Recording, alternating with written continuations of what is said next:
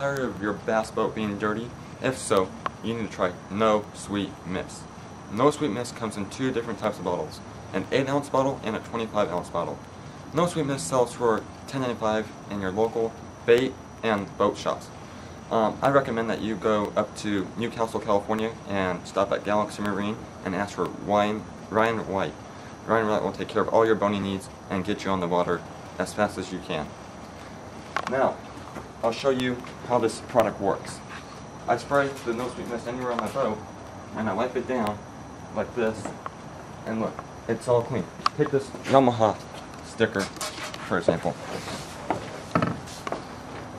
Now, now it's all clean and shiny.